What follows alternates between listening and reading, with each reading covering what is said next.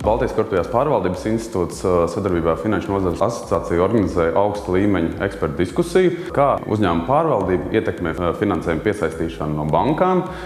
Tika prezentēta arī izpēte no, no piecu banku pieredzes, kas ir tie aspekti, kas no pārvaldības viedokļa tiek ņemti vērā. Un, pirmkārt, tā ir uzņēmuma īpašnieku struktūra, tā ir caurskatāmība un informācijas kvalitāte, kas tiek sniegta, tā ir risku pārvaldība, tas ir teiksim, uzņēmuma stratēģijas jautājumi, tad kādā veidā šie lēmumi uzņēmumā tiek, tiek pieņemti. Korporatīvai pārvaldībai ir ļoti liela ietekme, un tas arī ekspertu diskusijā šodien tika pārunāts, kāda ir šī pieredze, ko darīt ar uzņēmumiem, kas jau ir nonākuši teiksim, krīzes situācijā un kur bankas skatās uz šo restruktūrizāciju, kas arī diskusijas laikā izskanēja. Bankas bija gatavas dot jaunu finansējumu uzņēmumam, kur ir pārliecība, ka uzņēmums ir sakārtots un labi pārvaldīts. Korporatīvai pārvaldībai patiesībā sakot, ir fundamentāla nozīme. Un, kā mēs šodien diskusijā runājām, ļoti bieži viņai ir nu, simtprocentīga nozīme. Jo nu, tieši dēļ sliktas korporatīvās pārvaldības uzņēmumam tiek atteikts finansējums, un kādreiz pat varbūt tās nav iespējams kontus atvērt.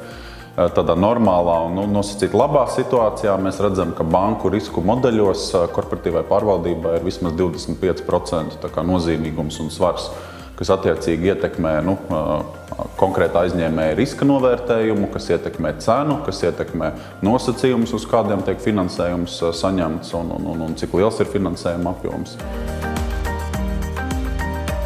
Lai rastos uzticamība uzņēmuma viņa pārvaldībai, domāt par neatkarīgākām uzraudzības iespējām, piemēram, vai no uzņēmumam izveidot padomi, uzņēmumam izveidot iekšējo auditu un nodrošināt, ka šīs institūcijas tiešām ir neatkarīgas, paskatīties, vai vēsturiskā īpašnieku struktūra atbilst mūsdienu izpratnē par caurspīdīgumu.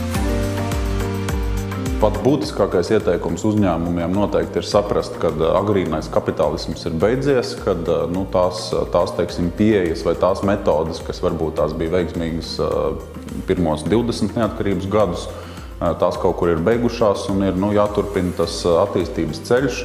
Eh, un Latvija ir iestājusies Eiropas Savienībā, OECD, eh, pievienojusies NATO un tā tālāk. Un tā joprojām, un tur, mūsuprāt, ir daudz iegūmu no pievienošanās starptautiskajām organizācijām, bet mēs aizmirstam, ka tur daudz arī ir uh, pienākumi, ka tur arī no mums sagaida attiecīgi uzvedības modeli un kaut kādas nu, negodīguma lietas vai attieksmes vai pieejas lietas mums ir jāatstāj pagātnē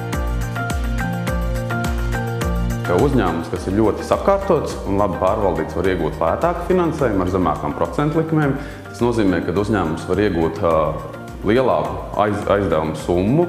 Tas nozīmē, ka uzņēmumam nebūs ļoti cieša banku kontrole nu, tādā ikdienas darbībā, apstiprinot katru soli attiecībā uz investīcijām vai pieprasot regulārākas atskaites nekā tas ir parasti ir ļoti grūti pastīties sadarbības partnerim acīs un teikt, nu, tev ir slikta korporatīvā pārvaldība, mums ir aizdomas, ka tu neesi visās situācijās godīgs. Tā kā ļoti bieži bankas, nu, mūsuprāt, tādās divpusējās attiecībās neizstāsta to, cik, cik būtiski ir tie pārējie faktori, kas saistās ar korporatīvo pārvaldību.